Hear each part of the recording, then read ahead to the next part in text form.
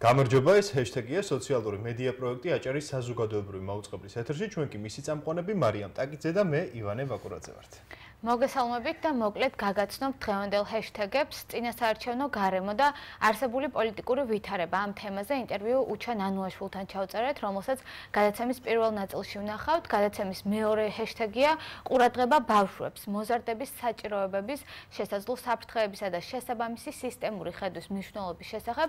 ანა არგანაშვილს ვესაუბრეთ გადაცემის მესამე ნაწილში Skype-ით ჩვენი სტუმარი იქნება ანესთეზიოლოგი, რეანიმატოლოგი ანი ქავთარაძე. ანისთან ერთად ვისაუბრებთ პანდემიის მართვის ხარვეზებზე, ვაქცინაციის დაბალი ტემპისა და მეხუთე ტალღის თავისებურებების შესახებ. შევახსენებთ, რომ გადაცემისთვის თვალყურის მიდევნება, ასევე მოსაზრებების გაზიარება გადაცემის Facebook გვერდზეც შეგიძლიათ, ასე რომ შემდეგი 45 წუთის განმავლობაში დარჩით ჩვენთან ერთად და იაქტიურეთ გადაცემის Facebook გვერდზე. ახლა კი დაუბრუნდეთ ივანე პირველ ჰეშტეგს. დაუბრუნდეთ პირველ ჰეშტეგს თვითმართველობის არჩევნების მეორე ტურამდე 2 დღე რჩება. 30 ოქტომბერს არჩევნები 5 თვითმართველ ქალაქში, 15 მუნიციპალიტეტსა და 24 საარჩევნო ოლქში გამართება. ცენტრალური საარჩევნო კომისიის ინფორმაციით, მოქალაქეები 20 მერს და საკრებულოს 42 მაჟორიტარ წევრს აირჩევენ.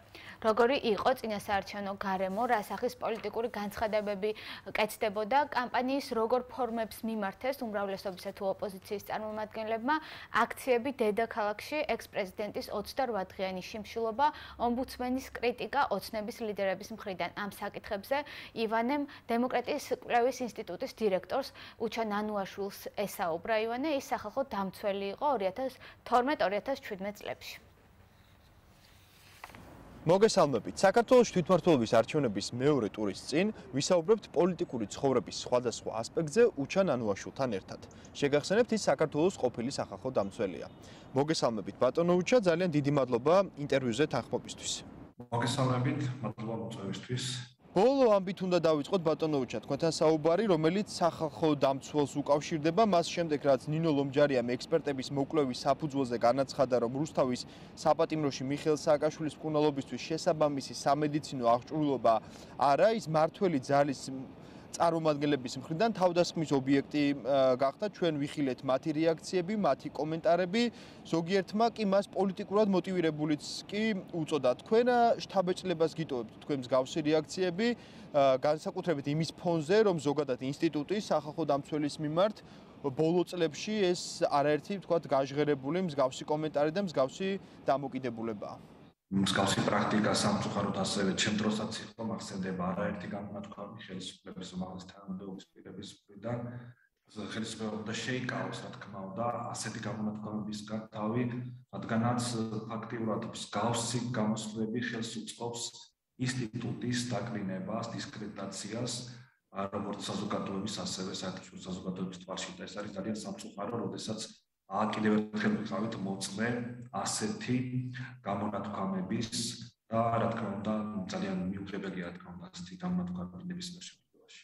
განიხილება ხელისუფლების მიერ წინასაარჩევნო შეკრება, ხო ერთგვარი თქვა და აქცია და საინტერესოა თქვა ამ აქციის შესახებ რისი თქმა შეგიძლიათ, რა ქმედება ეს და თქვენი აზრით რა მიზანს ემსახურება. ასევე აღსანიშნავია ისიც შეიძლება დაუშვებთ თუ არა იმისა, რომ ეს იყოს ერთგვარი პასუხი ოპოზიციის აქციისა, რომელიც საკმაოდ მასშტაბური იყო, რომელიც ჩაატარეს და ასევე აქვე არ მინდა გამოგჩეს ჩვენ ყოების თანხის ანაზღაურების კომპონენტიც, რასთან გვაქვს საქმე, რას ხედავს ქართველი ამომრჩეველი წინასაარჩევნოდ მე მეორე ტურს გულისხმობ. აა რა თქმა უნდა, ყველა საქმეობა, ყველა პოლიტიკურ სუბიექტს მსგავსი შეკრების ორგანიზების მაგრამ ამავე დროს ის ინფორმაციები, რომელიც იყო კონკრეტულად მოსყიდვასთან დაკავშირებით, რომ გარკვეულ თანხას უხდიან მონაწილეებს, რა თქმა უნდა, ეს ინფორმაცია საფუძველდებოდა და ამიტომ არის შესაძლებელი, მეორე მხრივ ის შეზღუდვები, რომელიც უდაც დღეს ფილტრის განმავლობაში არსებობს ხო ქალაქებში, რა თქმა უნდა, ბუნებრივია ეს ყველაფერი იწევს უკმაყოფილებას მოსახლეობის, და წილად არ არის გადაგებული არაერთი ქუჩა, არ მოძრაობს ტრანსპორტი, მოსახლეობა ელოდება დიდიდან ავტობუსებს და ავტობუსები რეგიონებშია გაგზავნილი როგორც აღნიშნეთ და საპარკინგო სივრცეები თლიანად არის პოლიციის ლენტების მიერ მილიტებით მიერ დაკავებული და გადაკეტილი და რეალურად ეს ყველაფერი რა თქმა უნდა უერთგვარ უკმაყოფილებას იწვევს სამრჩეველში რა თქმა უნდა მაგრამ მეორე მხრივ რა თქმა უნდა ეს პასუხი არის. იმ ოპოზიციის მიერ ჩატარებულ აქციებზე ხელისუფლება ცდილობს ასე ვთქვათ შექმნას ერთგვარი საინფორმაციო დისტრიქტში რაღაც დაჯობოს ოპოზიცია შექმნას იმიჯი რომ მასაც ყავს ხარდამჭერები და თქვა უნდა მას ყავს ხარდამჭერები თუმცა მეორე სკრიპტ ჩვენ ხედავთ საჯარო მოხელეების მასობრივ გზავრობას თulis მიმართულებით რაც რა თქმა უნდა არ გამორიცხავს ქართულზე წოდას ხომ თუმეტეს ჩვენ ამ ბოლო თვეების განმავლობაში ნახეთ რა როგორ ვითარდებოდა არჩევნები? ანუ არჩევნები არ არის მხოლოდ არჩევნების დღე არჩევნები არის ასევე წინა საარჩევნო პერიოდში რაც ხდება და ეს არის ძალიან მნიშვნელოვანი ხო მაგალითად ის რომ ეს გარემო იყო საკმაოდ დატვირთული ადამიანის უბედად დარღვევებით იყო დაშინების ხმების მოსყიდვის როგორც კანდიდატებზე ასევე ამომრჩეველზე ზეწოლის არაერთი შემთხვევა ცალკე გამოსაყოფია რა თქმა უნდა ის მედია გარემო ოპონენტებთან საკომუნიკაციო ენა ეგრეთ წოდებული სისხლიანი ბანერები ნაცების დასრულებაზე აგებული კონკრეტული პოლიტიკური რეკლამები როგორ გამოიყურება ხელისუფლება ასეთი ქცევებით, ასეთი დამოკიდებულებით ამომრჩევლის თვალში. აი, პირველი და უკვე მოსული მეორე ტურის, თქვა და ეს პერიოდი რო შევაჯამოთ თქვენი განმოსახედიდან. ერთ-ერთი ყველაზე სამწუხარო არის ის, რომ რა თქმა უნდა, დარგოები ხდება ყოველთვის ძალადობასაც აქვს ადგილი სიძულვილის ენის გამოყენებასაც. სკაუსი ბანერების შეძლოა ვიღაცამ გამოფინოს, მაგრამ როგორია სახელმწიფოს დამოკიდებულება ამის ამის არის მნიშვნელოვანი, ხო? იგივე ბანერთან დაკავშირებით ჩვენ მოვისმინეთ ცესკოს თავმჯდომარის გადაწყვეტილება რომ მან ვერანაირი დარღვევა ვერ აღმოაჩინა ბახსოს ყოს იგივე პირველი ტურის წინ იყო მსგავსი განცხადება გავრცელებული და მისთვის პრობლემა არ იყო ასეთი ბანერების გავრცელება რომ იგივე შეიძლება ითქვას მედია გარემო როდესაც წინა საარჩევნო პერიოდში უშუალოდ მაგალითად იგივე ივლისში 50-ზე მეტი ჟურნალისტი გახდა ძალადობის მსხვერპლი და დღემდე ამ ძალადობის ორგანიზატორები არ არიან ასვისგებაში მიცემული და რეალურად გრძელდება სასამართლო საქმეები.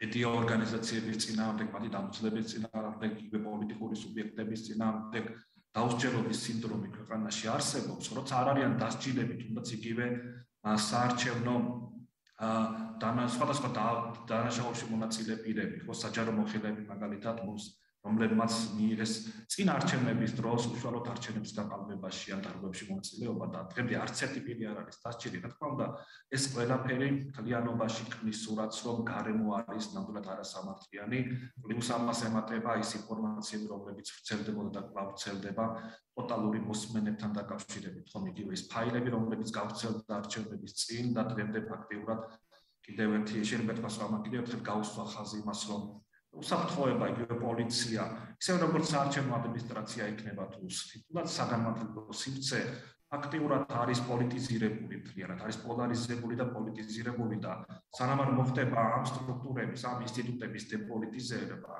არ მოხდება ნეიტრალური საარჩევნო ადმინისტრაციის შექმნა, ნეიტრალური პოლიციის სასამართლოს თუ საფრთხოების სისტემის შექმნა, ნამდვილად ეს ყოველთვის იქნება მსგავსი განცდა საზოგადოებაში, რომ რეალურად საარჩევნო გარემო არ არის ობიექტური, არ არის სამართლიანი. თვითმართველობის არჩევნების დაწყებამდე საქართველოსში ჩამოვიდა საქართველოს მესამე პრეზიდენტი მიხეილ სააკაშვილი, ხო? და მის ჩამოსვლას შემდეგ მოყვა ექს-პრეზიდენტის დაკავება და მისი დაკავება მართლმა პარტიამ, ქართულმა ოცნებამ შეაფასა როგორც თქვა ნაცების დასულების საბოლოო ნაბიჯი იყო, მოკლედ ესე ითქვა. თქვენი გამოცდილებიდან გამომდინარე, რა შეიძლება ითქვას მიხეილ სააკაშვილის პოლიტპატიმრობაზე? კაფიოდ არის თუ არა გამოხატული ის კრიტერიუმები, რომლის მიხედვითაც ჩვენ შეგვიძლია, რომ მიხეილ სააკაშვილს ამ ვითარებაში პოლიტპატიმრის სტატუსი მივანიჭოთ. საბჭოს საპარლამენტო ასამბლეას აქვს მიღებული ერთ-ერთი რეზოლუცია, რომელიც განმარტავს პოლიტიკური პატიმარს ბაზრის კრიტერიუმებს რომლის მიხედვითაც იქნება შესაძლებელი შეიძლება თუ არა შეფასდეს ესათუის კონკრეტული დაკავება კონკრეტული ადამიანი პოლიტიკური პატიმრად და თქმა უნდა მნიშვნელოვანია რომ სწორედ ამ კრიტერიუმების ევროსაბჭოს კრიტერიუმის მიხედვით მოხდეს სააკაშვილის საკითხის შესწავლა. რომ ჩემი მოსაზრება პირადად ალბათ არის ის რომ ერთის პრივ არსებობს რა თქმა უნდა შეიძლება ითქვას იგივე სისტემური დანაშაული, არსებობდა სისტემური დანაშაული, ვახსოვს ყველას ხო იგივე არა მხოლოდ გირგულიანი საქმე, ძალიან ბევრი გახმაურებული საქმე, წამების ფაქტები, დემონსტრაციების დარბევები და სხვა მსგავსი დარბევები წინა ხელისუფლების დროს, ანუ არიან სვერბლი არიან დაზარალებულები და ეს ფაქტია და ამას ვერ ამოვარყოფს და ის რომ მართაჯულებას აქვს კითხვები წინა ხელისუფლებასთან გასაგებია, მაგრამ მეორე არის საკითხი, რა თქმა უნდა, როგორია ნდობა სასამართლოს მიმართ, რომ მასშტაბები თუ არა მოსამართლეები პოლიტიკურ დაკვეთებს. და ჩვენ ხედავთ, რომ ძალიან ბევრ შემთხვევებში ამის ნიშნები არსებობს, როდესაც მოსამართლეები, სამართალდამცველები ასრულებენ ხელისუფლების დაკვეთებს და შეიძლება ითქვას, რომ ამას დამატებით კიდევ უფრო მეტად ართულებს მდგომარეობა, რომ მაგალითად იგივე სააკაშვილის დაკავებასთან დაკავშირებით პირველი ინფორმაცია არა სამართალდამცავ ორგანოების წარმომადგენლებმა გაავრცელეს არამედ სწორედ პრემიერ-მინისტრმა, ხო, ანუ პოლიტიკურ განცხადებას აკეთებენ პოლიტიკოსები, პრემიერ-მინისტრი და სხვა თანამდებობის პირები და ნაკლებს საუბრობენ მოსამართლეები ან პროკურორები და შეიძლება ითქვას იგივე ის განცხადებები, ხო, რომელიც მაგალითად ჩვენ მოვისმინეთ. უწყნარად არ იქნება სააკაშვილი მას დაუმატებთ კიდევ, ხო, სხვა შეიძლება სამართლებრივად იმაზე საუბაროთ, რომ პოლიტპატიმრობა ავტომატურად არ უდრის იმას, რომ თავისთავად პირი არის უდანაშაულო, ხო? ხშირად აპელირება ხდება, რომ თქვენ გინდათ, რომ თქვა ამ ადამიანის დანაშაულები გვერდზე გადადოთ და გამოაცხადოთ პოლიტპატიმრად, ანუ თქვა უდანაშაულოდ. ბევრი ეგრე ფიქრობს, ხო? რეალობაში სამართალი ამ ყოველფერს როგორ ხედავს, აი ეს რომ გაგვიმარტოთ, ჩვენ საინტერესოა. პოლიტიკური პატიმარი, რა თქმა უნდა, არ ნიშნავს აპრიორი, რომ მას რამე დანაშაული არ აქვს ჩადენილი, ხო? უბრალოდ ძალიან მნიშვნელოვანია ის გარემოებები, რომელსაც საუბრობ, რამდენად არის შექმნილი ამ პირობები იმისთვის, რომ მარცხაჯულება იყოს, ნამდვილად დამოუკიდებელი იყოს გამჭვირვალე, იყოს ის გამოძიებაც ეფექტური და რეალურად არავის არ დარჩეს კითხვები, რომ ამ საქმეში არის რამე პოლიტიკური დაინტერესება, რომ ვიღაც არის დაინტერესებული პოლიტიკური ანგარიშსწორებით და ის რომ 9 წლის განმავლობაში არ ხდებოდა ექსტრადიცია მოთხოვნა სააკაშვილის გადმოცემასთან დაკავშირებით და რეალურად ამ შესაძლებლობა არსებობდა 9 წლის განმავლობაში, მაგრამ ეს არ მომხდარა. ხომ იგივე ისაც მოხდა თუნდაც როდესაც გირგლენ საქმესთან დაკავშირებით სააკაშვილის მიმართ არის გამოტანილი განაჩენი, მაგრამ ამ საქმესთან დაკავშირებით იგივე ფიგურანტი მოსამართლეები, იგივე მურუსიძე, მაგალითად ეს არის დაწინაურებული. მეორე მოსამართლე ნაირა გიგიტაშვილი მაგალითად უადოთ აირჩიეს ცოტა ხნის წინ და როდესაც ერთ საქმესთან დაკავშირებით ერთ ადამიანს ასამართლებ, მაგრამ ამ საქმეში მონაწილეს მაპირებს მოსამართლებს ან აუცილ სამართალდამცავ ორგანოებს წარმომადგენლებს აწინაურებ, ხო? რა თქმა უნდა ეს აჩენს კითხვებს შერჩევით სამართალთან დაკავშირებით. თუ საქართველოს მესამე პრეზიდენტი თქვა არ შეწყვეტს შიმშილობას, ხო? როგორი და ასევე თუ გაგრძელდება ერთგვარი თქვა პოლიტიკური სიჯუტე სააკაშვილის თქვათ ამ შემთხვევაში საქალაქო კლინიკაში გადაყვანის საკითხთან დაკავშირებით, ხო და თუ თქვათ არ მიცეს ამ თქვათ ამ კონკრეტული სერვისის გამოყენების უფლება. როგორ შეიძლება ამ სიტუაციის განმუხტვა? თქვენ როგორ წარმოგიდგენიათ? შესაძლოა თუ არა მაგალითად გამოიყენონ შეწყალების მექანიზმი გამოყენებული იქნას შეიძლება თუ იყოს თუ არა ამ შემთხვევაში ექსტრადირების მექანიზმის გამოყენება როგორ ფიქრობთ თქვენ პირველ რიგში მე ვფიქრობ რომ ძალიან მნიშვნელოვანია მაქსიმალურად მოკლე ვადებში ის რისკები გამოირიცხოს, რომელიც დღეს დგას, ანუ საუბარი მაქვს ჯანმრთელობასთან ის ჯანმრთელობასთან დაკავშირებულ საკითხებზე და აუცილებელი არის მისი გადაბანა შესაბამის პროფილის სამეცნიერო დაწესებულებაში და შემდგომ რა თქმა უნდა აუცილებელი არის დანარჩენი სხვა სამართლებრივი საკითხების გადაწყვეტა. რა თქმა უნდა შეწყალებაც არის ერთ-ერთი მექანიზმი, თუმცა არა ყველა შემთხვევაში პროფესიონალურად არის აღძრული კვლავ კიდევ ერთი ახალი საქმე, რომელიც ამჟამად გამოძიების ეტაპზეა და რეალურად ამ საქმესთან დაკავშირებით შეწყალების მექანიზმის გამოყენება შეუძლებელია. აა მეორე მხრივ ის რა თქმა უნდა სააკაშვილი არის უკრაინის მოქალაქე და ამ შემთხვევაში უკრაინასაც გააჩნია გარკვეული ინტერესი, თუმცა არის რა თქმა უნდა საკითხი უფრო მეტად პოლიტიკური, შეიძლება ითქვას, რომ სამართლებრივი გადაწყვეტილების მეთოდები შეიძლება ითქვას ძალიან ნაკლებია. საქმესთან დაკავშირებით ეს უფრო მეტად პოლიტიკური თემაა, პოლიტიკური საკითხია და მისი გადაწყვეტა არ იყოს ცოტა არ იყოს რთულად მიჩვენება ასე მოკლე მოდიან პერსპექტივაში. თუმცა ხიანობაში მაინც მნიშვნელოვანია რომ სწორედაც რომ ასე თქვა მოხდეს მისი საქმის განხილვა, შესწავლა, რომ ასე თქვა სხვა ტემპებით რომ გამოირიცხოს ის რისკები, რომელიც დღეს დგას და ის თუნდაც იმ შიფშილობასთან დაკავშირებით. საინტერესო თქვენი ზოგადი შთაბეჭდილება და შეფასება იმის შესახებ, ხედავთ თუ არა საქართველოს პოლიტიკური თქვა წარმატების ფორმულას კოალიციურ მართლობაში და რამდენად რეალური, რამდენად რეალისტური მიგაჩნიათ? ზოგადად ამ ტიპის პოლიტიკურ ფორმატზე გადასვლის შესაძლებლობა მეორე ტურის წინ. არის თუ არა ეს ერთგვარი თქვა პოლიტიკური კრიზისის განმუხტვაშთვის გამოსავალი თქვენთვის? მე ვფიქრობ ჩვენ ალბათ საზოგადოება უნდა გამოვიტანოთ დასკვნები ხო უკანასკნელი 30 წლის მანძილზე ჩვენ ფაქტიურად ვედგას პრობლემა, როდესაც ქვეყანაში იყო ერთპარტიული ხელისუფლება ყოველთვის გამარჯვებული პარტია იღებდა აბსოლუტურად აკონტროლებდა ყველა ინსტიტუტს, ყველა დონეზე შესაბამისად ეს უკვე გავლენას ახდენდა შემდგომ პროცესების განვითარებაზე. რეალურად არ მოხდა სამწუხაროდ პოლიტიკური კულტურის განვითარება, არც კოალიციური და ასე ვთქვათ, მრავალპარტიული სისტემის ჩამოყალიბებისკენ იყო გადადგმული დაბიჯები პირიქით პოლარიზაცია, რომელიც არსებობდა და კვლავ არსებობს.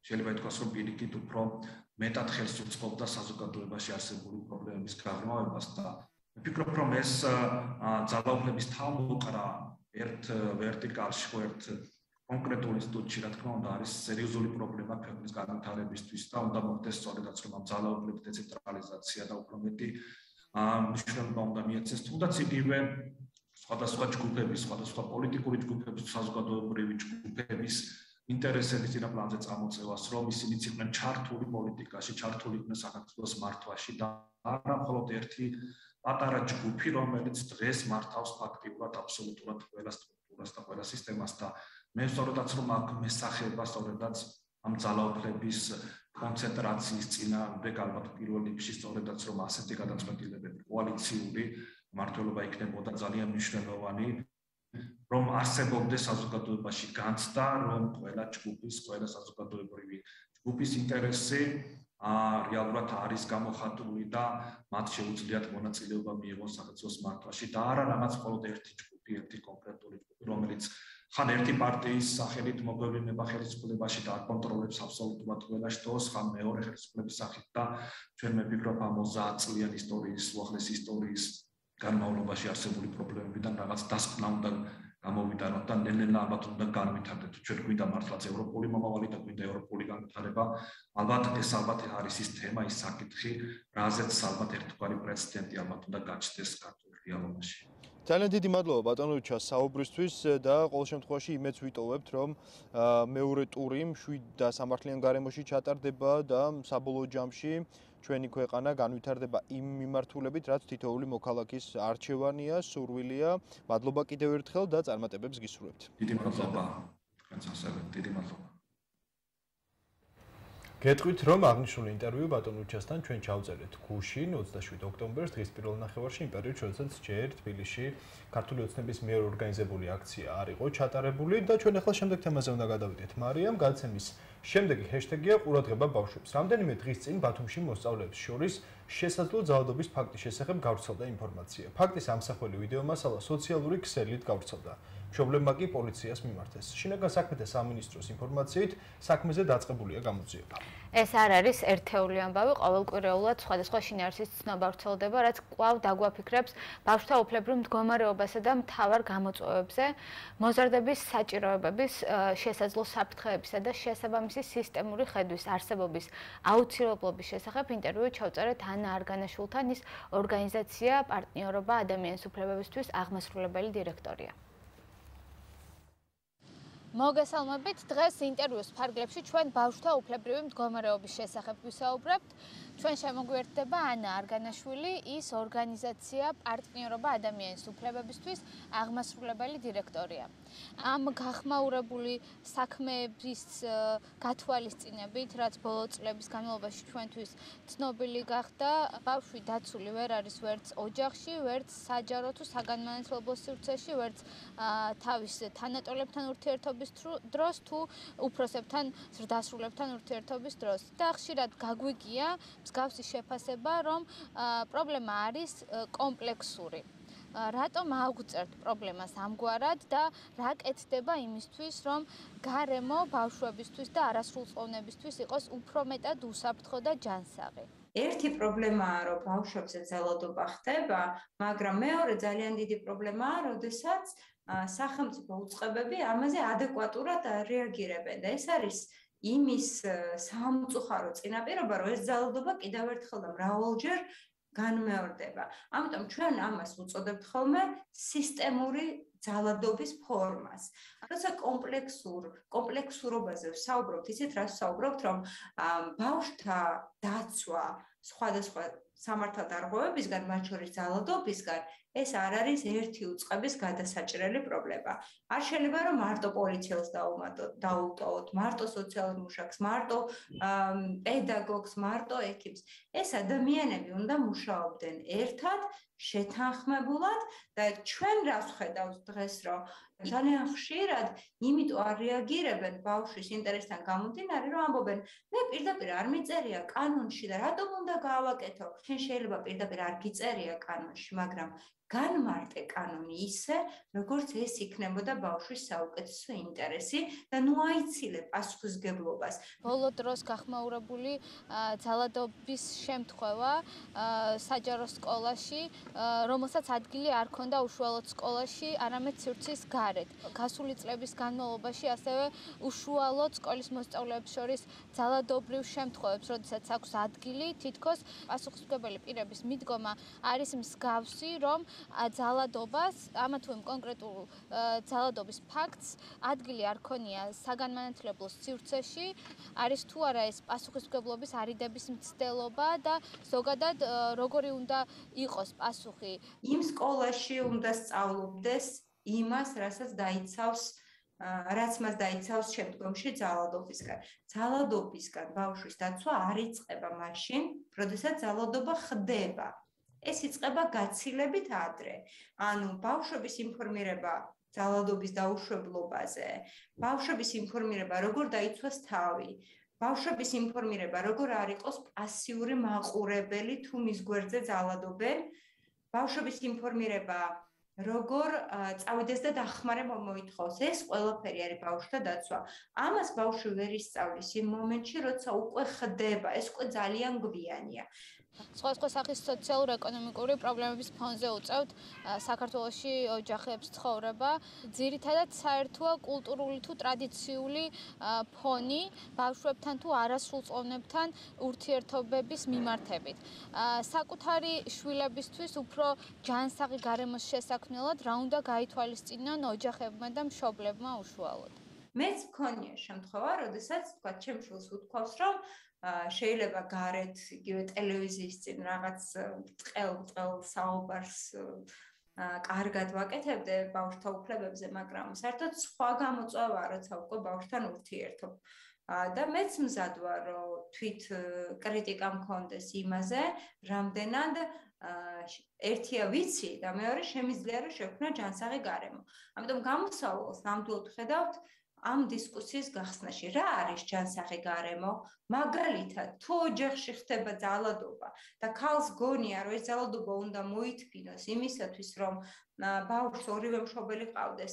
ჯანსაღია ეს გარემო? ანუ ხომ მეტად ხომ არ ზიანდება ბავშვი ამ ძალადობა ძალადობის მომსწრეთ ყოფნის? იმიტომ რომ თუ გადავხედათ კვლევებს აღმოჩნდება რომ კი შეიძლება მეტადაც დაზიანდეს და შეიძლება უფრო ნაკლები ზიანი მიდგომოდა შვიდ გარემოში რომ ეცხოვრა ხო? თქვა ერთ მშობელთან. ამიტომ ჩვენ არ უნდა შეგვეშინდეს დავსვათ კითხვები იმის შესახებ რა არის ბავშვისთვის სწორი გარემო? ხშირად ხდება ხოლმე ცალმხრივად შეხედვა საკითხის.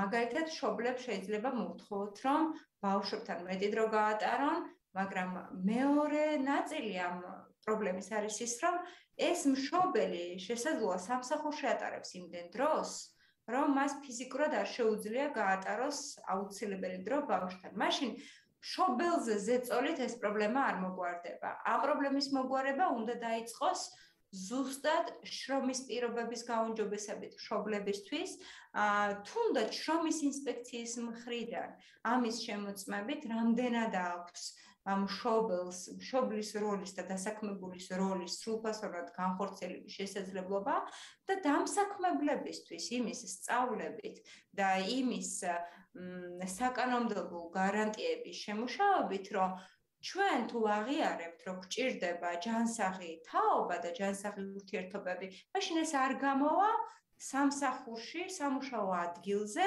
დასაქმებულისთვის ამ პირობების შექმნის გარეშე. ნიშნულოვანი კონტექსტი და ფაქტორია შეიძლება ვთქვათ ის ინფორმაცია და გამოსახულება, რომელსაც ბავშვი არასრულწლოვანი თვალს ადევნებს სატელევიზიო ეთერით თუ ონლაინ მედია საშუალებებით, მათ შორის ღია სივრცეებში გვახსოვს ჩვენ სისხლიანი ბანერების გამოფენა და ზოგადად ძალადობის ამ ფორმების ნორმალიზება არა მარტო ხელისუფლებიდან, პოლიტიკურ ცხოვრების განუყოფელი ნაწილია ეს ყოველივე. აი როგორ აისახება და რა გავლენა აქვს სიძულვილის ენას, ძალადობას, მტრულ განწყობას ბავშვებზე, მოზარდების ქცევაზე და რა სამომავლო შედეგი შეიძლება ჰქონდეს? ჩვენ უკვე ხედავთ შედეგებს. ეს შედეგები არის გამოწვეული იმ მიზეზებით, როგორ გარემოში ცხოვრობთ, მათ შორის იმ სიზურლის შემცველი ინფორმაციით, რაც უცელდება, მათ შორის ფსიქიკური ჯანმრთელობის პროგრამების არარსებობით, მათ შორის არაპროგნოზირებადი გარემოთი, აი ჩვენ არასოდეს არ ვიცით მაგალითად ხვალ რა კრიზისი შეიძლება დაიწყოს და ეს ყველაფერი რა თქმა უნდა შემდეგ გამოიხატება ამ შედეგებში. ამიტომ გაეროს ბავშვთა უფლებების კომიტეტს აქვს ესეთი ძალიან კარგი რეკომენდაცია და ეს ასახულია კონვენციაში, რომ ყველა პროცესი რაც ხდება ქვეყანაში საერთოდ ყველა იქნება ეგ ეკონომიკა, სოფლის მეურნეობა, ნების მეცნიერების ყველა პროცესი რაღაც მომენტში უნდა გავაანალიზოთ ბავშვების უფლებების ლინზით. ანუ ესა და ეს პროცესი ბავშვებზე რა გავლენას ახდენს? ამ კითხვას როგორც წესი არ სვავთ ხოლმე სამწუხაროდ. თითქოს ჩვენი როლური მოდელი არის ის პარლამენტარები, რომლებიც ძალიან ცუდ მეტყოლებას იყენებენ, ხო, რომლებიც ძალადობენ. ის აღმასრულებელი ხელისუფლების წარმომადგენლები, რომლებიც მაგალითად ჟურნალისტებს დასცინიან. ისინი ჩვენი როლური მოდელები არიან, განსაკუთრებით ბავშვების, არაერთ ბავშვს ვთქვავს, ჩემთვისაც და ბევრი მასწავლებლისთვის, რომ რატომ ვითხოვთ ჩემგან ეთიკურ ქცევას, თუ პოლიტიკაში არს მოღვაწე პირები, ვისაც განსაკუთრებით მაღალი მოთხოვნები უნდა წავუყენოთ, აი ასე იქცევიან. სახელმწიფოს თუ შესაბამისი უწყებების დონეზე რამდენად არის გააზრებული და გათვალისწინებული ბავშვთა საჭიროებები თუ სურვილები და ისევ და ისევ რომ მიუბრუნდეთ გახმაურებულ ჩვენთვის ცნობილ საქმეებს, რა ვისწავლეთ იმ საქმეებიდან, რა ისწავლა მაგალითად ლუკას სირაძის ამბის შემდეგ შესაბამისმა უწყებებმა სხვა საქმეებთან მიმართებით მოზარდებთან ურთიერთობის დონეზე. და ასევე საყურადღებო ფაქტორია აქაც, რომ საქმეში მსჯავრდებული გამოძიებელი მარიანა ჩოლოიანი აგვისტოში გაათავისუფლეს, რასაც ასევე მოყვა პროტესტი. ალბათ პირველი ის უნდა ვთქვათ, რომ სამწუხაროდ არც ლუკას ირაძის, არც 51 სკოლის, არც შაქარაშვილის საქმემ ჩვენ არ გვიბიძგა ერთხელ მაინც დისკუსია ქონოდა იმის შესახებ თუ რა უნდა გაგვეკეთებინა რომ ეს არ მომხდარიყო. ანუ დასჯა არის ერთი რეაქცია რაც უნდა მოხდეს დამნაშავისა, მაგრამ პრევენცია არის ბავშვებისთვის გაცილებით მნიშვნელოვანი. ანუ აი იგივე ლუკასირადის საქმეში ერთ-ერთი მთავარი დარღვევა იყო ის, რომ ბავშვი იყო ადვოკატის garaშე, პოლიციაში გამოკითხვაზე, რაც არის ძალიან სერიოზული დარღვევა, მაგრამ დღეს ისევ ხედავთ იგივე პრაქტიკას, როდესაც მოწმის სტატუსით დაბარებულ ბავშვებს არ ყავთ ადვოკატები, ხო? აა 51 სკოლის საქმეზე ჩვენ დავინახეთ, რომ სკოლებში არის გამეფებული ბულინგის ატმოსფერო და როცა ძალიან ზაფრდება ეს ბულინგი და ძალადობა, მე ხდება ტრაიკული მოვლენები. მაგრამ ჩვენ ისევ არ გვაქვს ბულინგის და სკოლაში ბავშვების ურთიერთჩაგურის არც პოლიტიკა, არც ადეკვატური მექანიზმი. არაერთ საქმეში დავინახეთ, რომ ბავშვები რომელთა მშობლებიც არიან შრომით მიგრაციაში, არიან განსაკუთრებით მოწყვლადი, რომ დაირღვევა მათი უფლებები. ამაზე სახელმწიფოს ვაწუდით ინფორმაციას, ფაქტიურად განგაში უნდა გამოვაცხადოთ იმ კუთხით, რომ ამ ბავშვებს დღეს ჭირდება ხარდაჭერა, აღრიცხვა, ზედამხედველობა და სახელმწიფო არაფერს არ აკეთებს. სახელმწიფოს არ აქვს არანაირი პროგრამა, არანაირი სამოქმედო გეგმა სუიციდის პრევენციისა. ერთ-ერთი საქმე. ბავშვთა სიღარიბე ოჯახებში, რის გამოც ხდება უკანონოდ ბავშვების გაყვანა ალტერნატიულ ზრუნვაში. აქაც სახელმწიფოს არა გაუჯობესება. ანუ ეს ყველაფერი არის წითლად ანთებული სიგნალები. ეს სიგნალები მოდის ჩვენ ვაწვდით ამას სახელმწიფოს, მაგრამ სამწუხაროდ პრევენციულად არ ხდება არაფრის გაკეთება და ამაშია მთელი პრობლემა. ხშირად გვესმის ამბები, საქმეები, რაც უშუალოდ ბავშვთან მიმართ ძალადობას ჩაგვრას შეეხება. ეს სიხშირე რას შეიძლება დავუკავშიროთ? ან როგორ შეიძლება ახსნათ მეტად ვაქცევთ უკვე ყურადღებას ასეთ საკითხებს, სადაც რაც ბავშვთა უფლებრივი მდგომარეობის გაუმჯობესებისკენ შეიძლება იყოს მიმართული თუ გავიზარდეთ როგორც საზოგადოება თუ რასთან გვაქვს საქმე ამ შემთხვევაში? მე ძალიან ოპტიმისტურად ვარ საზოგადოებასთან მიმართებაში. ნამდვილად მგონია, რომ გავიზარდეთ როგორც საზოგადოება. 5 წლის წინ უფრო მისაღები იყო ბავშვის წამორტყმა, პანჩურის ამორტყმა, დასჯა. აი დღეს ხედავთ რეაქციებს თუნდაც გუშინ გავრცელებულ ნიუსზე, რომელიც ბავშვის დასჯას ეხებოდა ხილის მოპარვის გამო, ხო?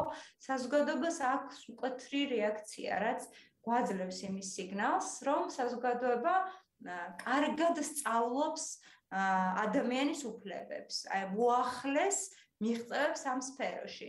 ასევე კარგია ის, რომ როდესაც აი ადამიანი ბავშვის ერთი მხარდამჭერი მაინც გადაწყვეტს, რომ ის დაიცვას, მან უკვე იცის, რომ არსებობს საქმეები, სადაც ეს მოხდა.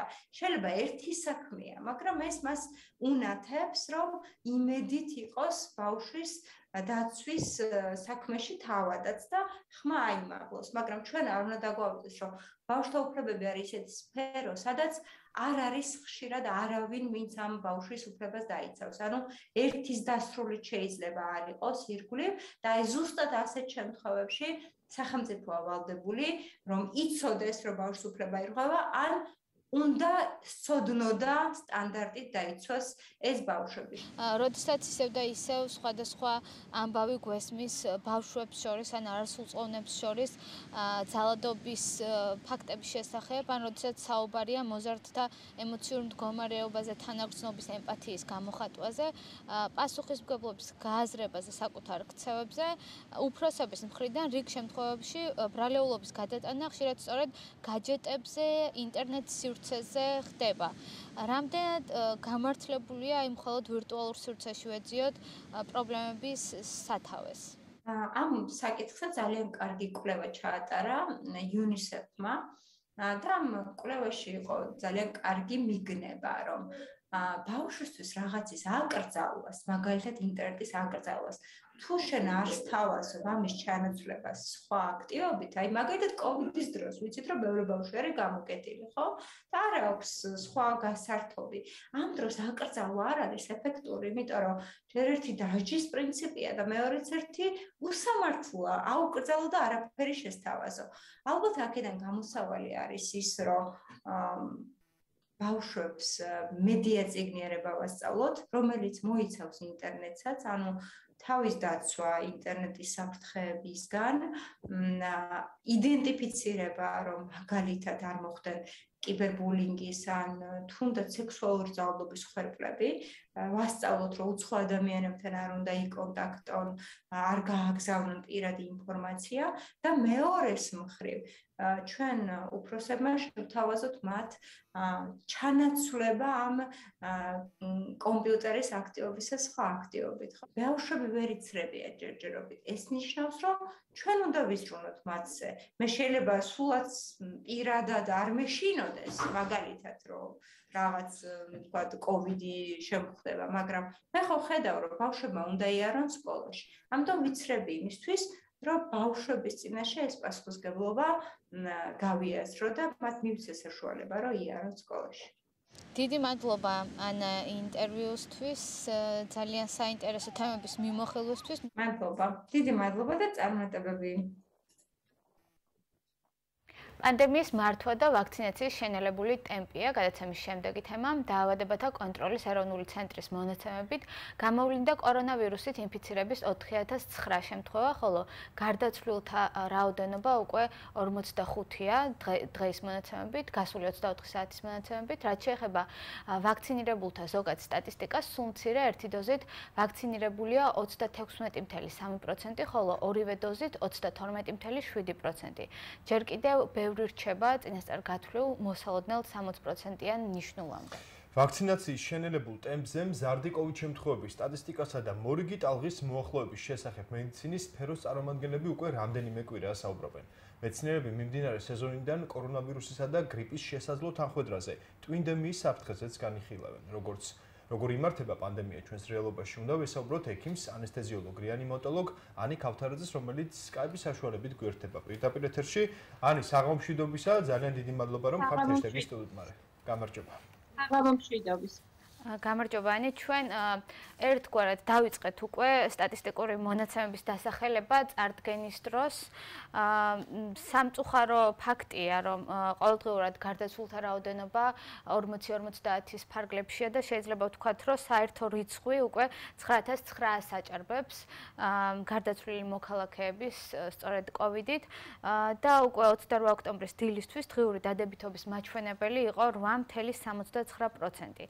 ეს არის ასე ვთქვათ ისევ და ისევ სტატისტიკური მონაცემები, რას გვეუბნება რეალურად ეს ციფრები, რიცხვები, მონაცემები, როგორი ვითარებაა ქვეყანაში. აა საღამომშვიდობის მადლობა მოწვევისთვის.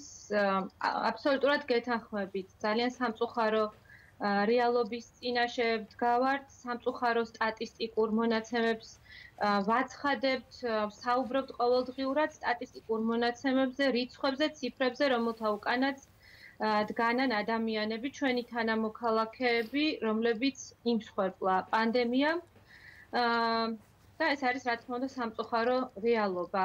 იმ პირობებში, როდესაც სოფლიომ შექმნა ვაქცინა, თანამედროვე მეცნიერებამ და მედიცინამ შექმნა ვაქცინა ამ ძიმესენის წინააღმდეგ და დღეს ჩვენ გვიწევს საუბარი კვლავ ვაქცინის სიკეთეებზე და არ ვიყენებთ აი ამ სიკეთეებს იმისთვის რომ აი ამ დიდ ძალიან ძიმე სტატისტიკურ მაჩვენებლებს არ შეემატოს კიდევ დამატებით ჩვენი ახლობლების ჩვენთვის ძვირფასი ადამიანების ციცოცხლე ასე ვთქვა და ისინი არ გახდნენ აი ამ ყოველდღიური სტატისტიკის ნაწილი. ამას გვეუბნება ეს ციფრები სამწუხაროდ დღეს და ეს არის ჩვენი რეალობა ჩვენს ქვეყანაში. დიახ, ანი კიდევ ერთი ციფრი, რომელიც ასევე საგანგაშოა, შეიძლება ითქვას და ძალიან დიდ ყურადღებას იწვევს, ეს არის ვაქცინირებულთა რაოდენობა. ხო, დღიურად გულისხმობ, ბოლო ინფორმაციით დღიურად აწრილია 3951 ადამიანი. ჩვენ ასევე გვახსოვს ის პერიოდი, როდესაც საუბრობდით იმის შესახებ, რომ დღიურად მინიმუმ 20000 ვაქცინა უნდა გაკეთებულიყო იმისთვის, რომ მეხუთე ტალღა არ დამდგარიყო, ხო? და ასევე საუბარია უკვე მეორე საკითხად შეეხება უკვე არსებული ვაქცინების ვადიანობას, შეიძლება ისინი უკვე გამოუსადეგარი გახდეს. თქვენი შეფასებით, რა მიგვიყვანა თქვა ამ ვითარებამდე, რომ ფაქტობრივად ასეთი დაბალი ვაქცინაციის, ასეთი დაბალი მაჩვენებელი გვაქვს, რა იყო ის ძირითადი აქტორები, რაც თითოეული მოქალაქის ამ შემთხვევაში ქმედებაზე, ანუ არა ვაქცინაციაზე იმოქმედა.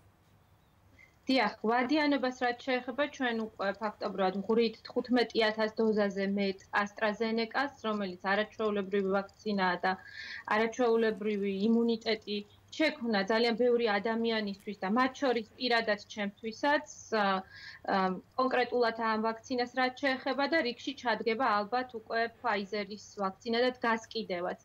სამწუხარო რეალობა, რომელიც დღეს ჩვენ ქვეყანაში დაგვიდგა, რამოდენიმე ფაქტორით არის განპირობებული. პირველ რიგში ალბათ სახელმწიფოს უმოქმედობით რამ სხვადასხვა ეტაპზე და პირველ რიგში იმ ეტაპზე, როდესაც ჩვენ ვითხოვდით საინფორმაციო კამპანიის დაწყებას მუდმივად ბოლო თვეების მანძილზე და მათ შორის მაშინაც, როდესაც ჯერ კიდევ არ იყო ვაქცინა ქვეყანაში შემოსული. ჩვენ ამას პროგნოზირებდით.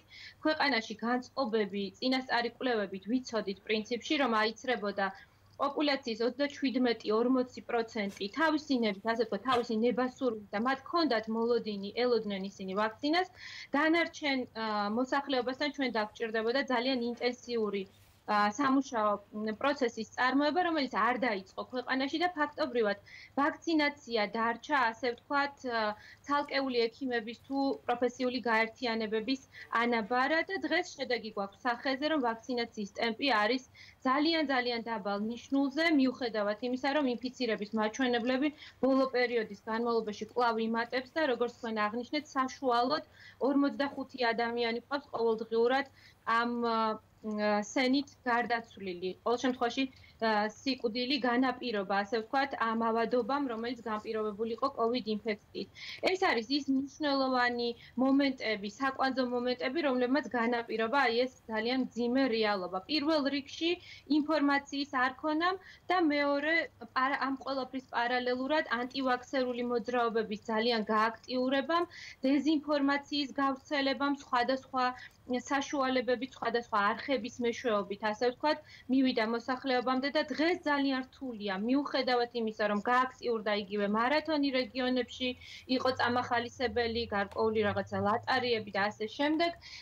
თუნდაც ჩვენ, როდესაც თითოეულ ადამიანთან ვცდილობთ რომ მივიტანოთ ყოველ ახალ ადამიანთან ასე ვთქვათ ინფორმაცია ისინი იმდენად არიან გაჯერებული უარყოფითი ინფორმაციით რომ ძალიან რთულია მათთან მუშაობა აი ეს არის ძირითადი ფაქტორები რამაც განაპირობა ჩვენი ძალიან ძიმე რეალობა დღეს. ანი, ამ მოცემულობისთვის რა შეიძლება ვთქვათ, რატომ არ დაიწყო შესაბამისი ინტენსიური სამუშაოები თავის დროზე? ჯერ კიდევ მაგალითად 2020 წლის ივნისში გამოკითხა NDI მოქალაქეები ვაქცინებთან დაკავშირებით, COVID საწინააღმდეგო ვაქცინებთან დაკავშირებით და უკვე იყო ერთგვარად პასუხები, რომ გამოკითხულთა 46% მაგალითად პასუხი იყო შემდეგი, რომ არ აიცრებოდა 38% თანახმა იყო აცრაზე, 15 100% უჭირდა იმ მომენტისთვის პასუხისგაცემა და ასევე ძალიან საინტერესო ფაქტორი გამოიკვეთა ფოკუს ჯგუფებთან ჩატარებული ინტერვიუების დროს, მაგალითად, ქართველების გამოკითხულთა უმეტესობა ზოგადად არ ეწინააღმდეგებოდა ვაქცინას, თუმცა მაინც იყო ასეთი მოსაზრება, რომ აცრა საჭირო აღარ იქნებოდა, მათ შორის მას შემდეგ, როდესაც პანდემიის საფრთხე გადაივლიდა. დღესაც პირად საუბრებში თუ სოციალურ ქსელში სხვა სხვა პოსტის კომენტარებში შემთხვევაში გვხვდება დამოკიდებულება, რომ თუ კი იკლებს ინფიცირებულთა რაოდენობა, ვაქცინაცია, ესე იგი აღარ არის საჭირო. ან თუ კი უკვე გადაიტანე COVID-ი, ვაქცინაცია აღარ არის საჭირო. აი, თავის დროზე რატო არ დაიწყო შესაბამისი კამპანიები, ინფორმაციის გავრცელება და დღეს უკვე ასეთ პასუხებს მოქალაქეების ასეთ დამოკიდებულებას როგორ პასუხობენ შესაბამისი უწყებები და პასუხისმგებელი პირები.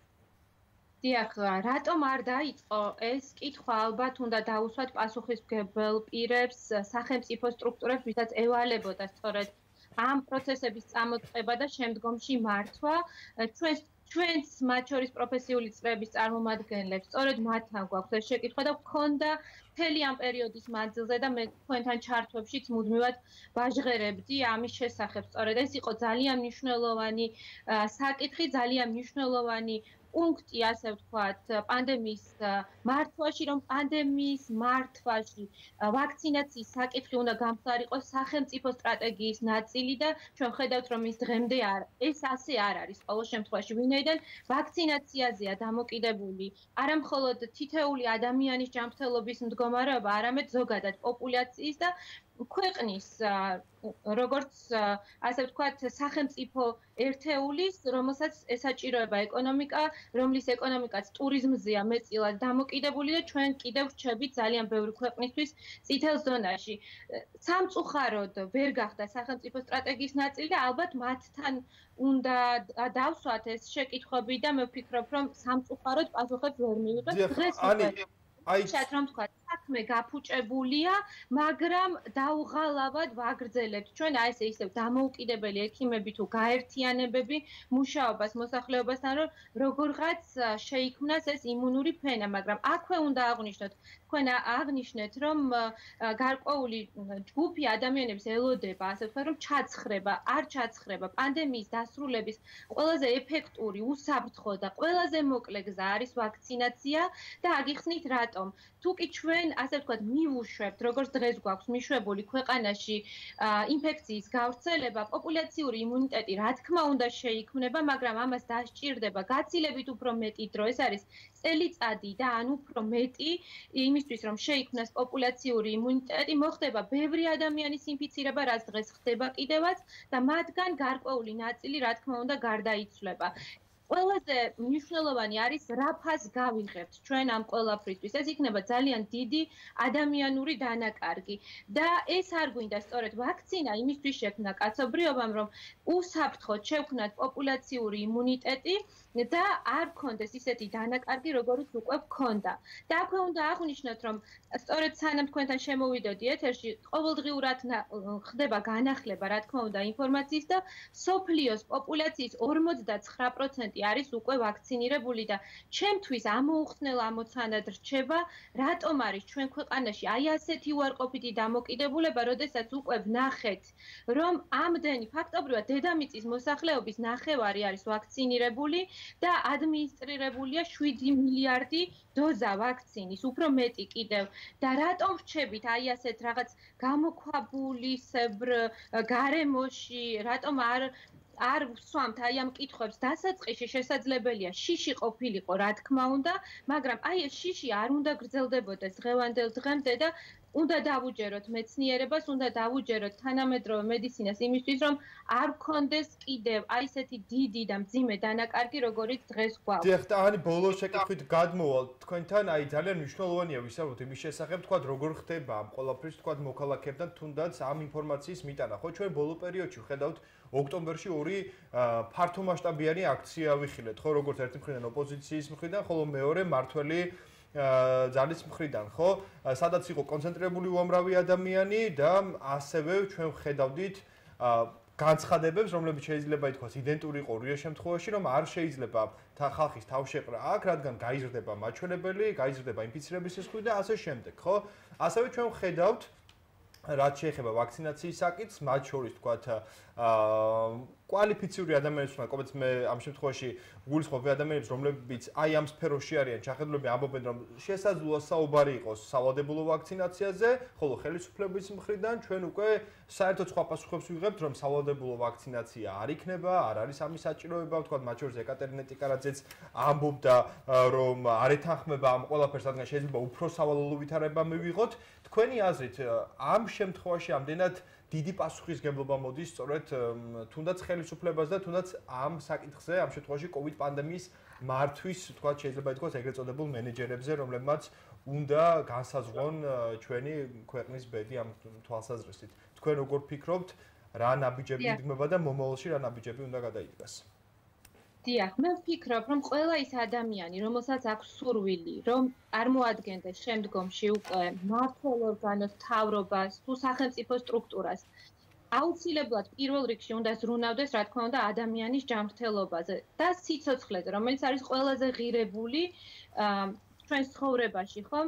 ამიტომ იქნება ეს პოზიცია თუ ოპოზიცია ჩემთვის როგორც რიგითი ექიმისთვის, რიგითი მოქალაქისთვის, ამოსავალი წერტილი არის, როგორ უდგებიან ისინი ადამიანის ჯანმრთელობას, როგორ აფასებენ, რამდენად ღირებულია მათთვის თითეული, თითეული მოქალაქის სიცოცხლე. ამიტომ მათ, რა თქმა უნდა, გაასმაგებული პასუხისმგებლობა ეკისრებათ, როდესაც პანდემიაში აორგანიზებენ ხალხმრავალ თავშეყრებს, სადაც რა თქმა უნდა, ინფიცირების რისკი არსებობს, თუმეტეს თუ ეს ადამიანები ორგანიზებულად გადაადგილდებიან დახურული ტრანსპორტით, ხომ? ამიტომ მათ უნდა კონდეთ ეს პასუხისგებლობა დაასმაგებული და აი ამ პასუხისგებლობით უნდა მიუძგნეს სწორედ პროცესებს. რაც შეეხება სავალდებულობას, არც ერთ ქვეყანაში სავალდებულო სრულიად პოპულაციისთვის ან მოსახლეობისთვის არ გამხდარა და არც ამ ქვეყანაში გახდება არასდროს. აქ საუბარია მხოლოდ და მხოლოდ ერთის მხრივ გარკვეული საშვების იგივე კოვიდ პასპორტის დაწესებაზე, რომელსაც ექნება სხვადასხვანაირი განსაზღვრელი. იქნება ეს ვაქცინაცია, იქნება ეს 72 საათში ერთხელ ტესტირება, თუ კი ან კიდევ დამატებით ახლად გადატანილი ინფექცია, ანუ გარკვეული მანიშნებელი იმის, რომ ადამიანი არის უსაფრთხო საზოგადოებისთვის და მეორე მხრივ სავალდებულოებას რაც შეეხება, ხო? ეს მე და მეც მომხრე ვარ ამის, ეხება გარკვეულ სეგმენტებს, გარკვეულ პროფესიულ ჯგუფებს და ასეთი პროფესიულ ჯგუფს წარმოადგენს სწორედ მეც. ვინაიდან ჩვენ გვაქვს პასუხისმგებლობა არამხოლოდ საკუთარ თავთან, ან ოჯახის წევრებთან, არამედ პაციენტებთან, ამავდროულად მორალური პასუხისმგებლობა, როდესაც მოვუწოდებ სხვა ადამიანებს ვაქცინაციისკენ, ჩვენ ვიყოთ პირველ რიგში ვაქცინირებული და უსაფრთხონი პირველ რიგში პაციენტებისთვის და ასევე შესაძლებელია ამავე კატეგორიაში იყვნენ პედაგოგები, რომლებსაც აქვთ ურთიერთობა განსაკუთრებით მოწყვლად ჯგუფთან, როგორებიც არიან პატარები, რომელთა ვაქცინაციასაც დღეს ჯერჯერობით ჩვენს ქვეყანაში ისინი არიან დაუცველები. დიახ, სწორედ საგანმანათლებლო და სამედიცინო სფეროზე იყო საუბარი. სამწუხაროდ დრო გვეწურება. დიდი მადლობა გადაცემაში მონაწილეობისთვის და ასევე ძალიან დიდი მადლობა თქვენი შრომისთვის და იმ ძალისხმევისთვის, რაც პანდემიის განმავლობაში ძალიან აქტიურად იყავით ამ პროცესებში ჩართული თქვენს კოლეგებთან ერთად, ასევე ინდივიდუალურად. მადლობა ანი. ანი მადლობა წარმატებებს და ჯანმრთელობას გისურვებთ რა თქმა უნდა ანი ქავთარაძე ანესთეზიოლოგი რეანიმატოლოგი იყო ჩვენი გადაცემის სტუმარი და ეს იყო ბოლო ჰეშტეგი დღეისთვის. მარიამ და ერთმანეთს ჩვენ შევხვდებით. მომავალ ხუთშაბათს ზუსტად 19 საათზე ახალი თემებით და ახალი ჰეშტეგებით ნახვამდის. კარგად ზანდებოდეთ